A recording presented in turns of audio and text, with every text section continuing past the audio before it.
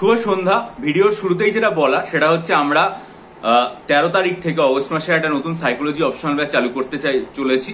যারা যারা সেই ব্যাচে যুক্ত হতে চাও, তারা ডিসক্রিপশন বক্সে দেওয়া ভিডিওর যে লিঙ্ক সেটা খুব মনোযোগ দিয়ে দেখবে। ভিডিওটা আমি আমার ইউটিউব চ্যানেলে রবিবার দিন আপলোড করেছিলাম। দেখে যদি আগ্রহী হও, তাহলে অবশ্যই ইমেলের মাধ্যমে আমার সাথে কন্ট্যাক্ট করবে। তারপর আমি বলে দেবো যে কি করে ব্যাচে যুক্ত হতে হবে। এবারে যে বিষয়টা নিয়ে বলার, সেটা হচ্ছে যে আমরা তো বিভিন্ন সাবজেক্টের এমসিকিউ এখন অনেক বেশি প্র্যাকটিস করছি এবং আমার অনলাইন যে জেনারেল স্টাডিজ ব্যাচ আছে, সেখানেও সবসময় বলে থাকি যে এমসিকিউ অনেক বেশি প্র্যাকটিস করা উচিত এখন। কেন? কারণ আমাদের মেন্স এবং প্রিলিমস দুটো পরীক্ষায় সামনে এগিয়ে এসছে। এই পরিস্থিতিতে আমরা সবাই বিভিন্ন সাবজেক্ট ওয়াইজও এমসিকিউ বই প্র্যাকটিস করে থাকি, আমরা জানি যে সংবিধানের ক্ষেত্রে যে বইটা সবচেয়ে গুরুত্বপূর্ণ সেটা হচ্ছে এম লক্ষ্মীকান্তের বই এবং আমরা সবাই ওই বইটা পড়ি।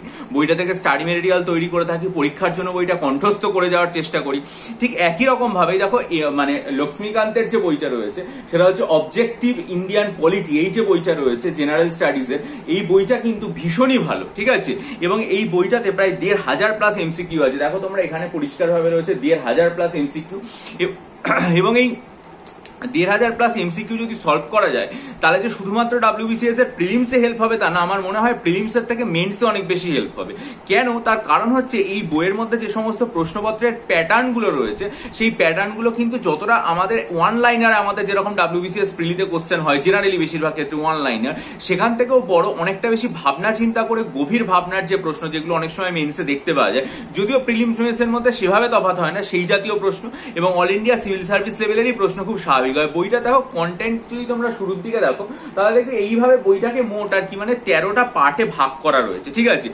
এই যে তেরোটা পার্টে ভাগ করা রয়েছে, প্রত্যেকটা পার্টের মধ্যে বিভিন্ন ধরনের অধ্যায় রয়েছে এবং আমরা যদি হিসাব করে দেখি, তাহলে দেখব যে এখানে মানে শুধুমাত্র যে অধ্যায় রয়েছে তাই নয়, অধ্যায়গুলো শেষে সব থেকে ভালো যেটা, সেটা হচ্ছে মডেল টেস্ট পেপার যেগুলো রয়েছে। একদম শেষের দিকে দেখো মডেল টেস্ট পেপার পার্ট থার্টিনে এরকম দশটা মোট টেস্ট পেপার সাজানো আছে, যেগুলোতে মানে সব চ্যাপ্টারের ওপর পুরোপুরি কোশ্চেন দেওয়া আছে।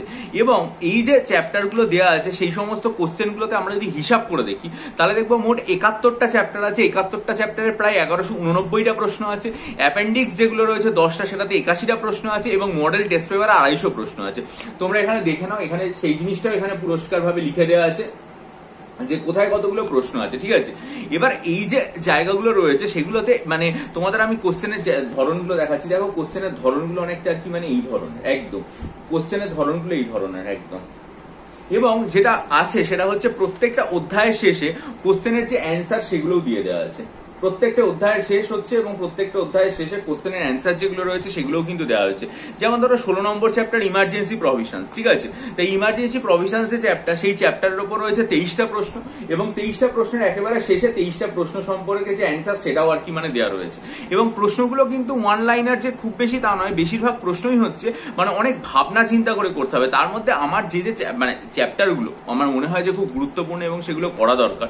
যেমন ধরো historical background making of constitution constitution preamble তারপরে হচ্ছে ফান্ডামেন্টাল রাইট তারপরে directive principles of state policy তারপরে হচ্ছে amendment parliamentary system centre state relation president vice president council of minister parliament তারপরে হচ্ছে governor chief minister state council of minister তারপরে supreme court high court তারপর local government যেগুলো রয়েছে পঞ্চায়েতি রাজ বা মিউনিসিপ্যালিটি এই যে কটা চ্যাপ্টার রয়েছে, এই চ্যাপ্টারগুলোর উপর ভীষণভাবে জোর দেওয়া উচিত এবং এরপরে দেখো এখানে শেষের দিকে চ্যাপ্টার রয়েছে, সেটা হচ্ছে কনস্টিটিউশনাল বডিজ এবং একই সাথে দেখো এখানে নন কনস্টিটিউশনাল বডিজ বলেও আর কি মানে চ্যাপ্টার রয়েছে। এই যে চ্যাপ্টারগুলো রয়েছে, যেমন ধরো Lokayukta central state information commission central vigilance commission central ইনভেস্টিগে মানে ব্যুরো অফ ইনভেস্টিগেশন এইগুলোর উপরেও মানে প্রশ্ন দেওয়া রয়েছে।